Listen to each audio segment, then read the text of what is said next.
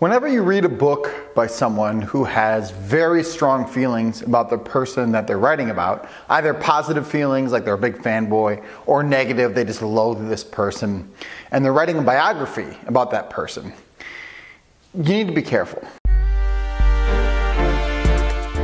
Hey everyone, Dylan Schumacher, Citadel Defense, and we are back with another edition of Tactical Book Review. And today's book is Such Troops as These The Genius and Leadership of Confederate General Stonewall Jackson by Bevin Alexander. I picked up this book because it was referenced in uh, my tactical leadership book that I have reviewed previously on this channel, and it seemed like an interesting book. There are a couple cool quotes from it, so you know I thought I'd get it and grab it. And I got about that far, uh, probably about you know two thirds of the way to, I'm on page 191. There's about 270 ish pages. And I quit. I just stopped reading.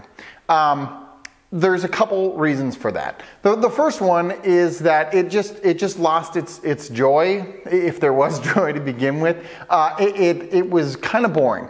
Um, the author references a lot of different names and places. There's a severe lack of maps in this book to be able to, I mean, he goes through battles in detail. And this person went here, and this person did this, and this person went here. And that's great, but one, all the names are confusing. I, I don't know who's on the side of the north or the south, so that's really easy to lose track of. And then two, uh, there's not enough maps in, in, this book to be. I mean, if you're going to walk through battles in detail, you need to have maps. This book should be maybe about twice as thick and just have maps all the time so that you can reference and look and show you who moved where. But that doesn't really get explained all that well, in my opinion. Which leads me to the, the last and the biggest issue with this book. Uh, Bevin Alexander never read any of his other books. Uh, maybe they're great, no idea. But he is a massive, massive fan of Stonewall Jackson, and which is fine. And this book seems to be written entirely to prove that Stonewall Jackson was the only competent, smart person uh, general on either the side of the North or the South, and that everybody else was a complete incompetent moron who did not belong within a thousand miles of a leadership position.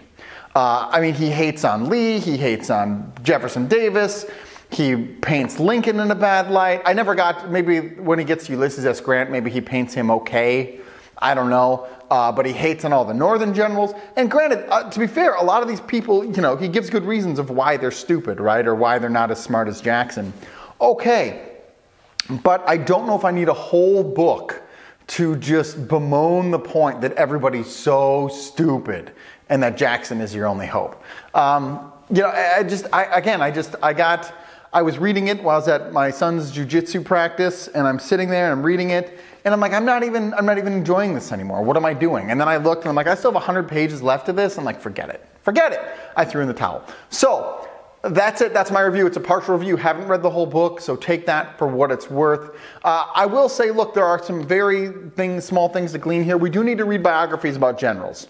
Okay, um, it helps us understand what makes leaders great and what makes leaders not great, and and we can then avoid the latter and embrace the former. So, if you're at all interested in generalship and stuff like that, don't read this book. read a different one because hopefully that will start to give you a better understanding of that. Uh, again, wouldn't personally recommend this. I do want to read more books on Stonewall Jackson. I think he's an interesting guy. I just don't think this is the book. Do brave deeds and endure.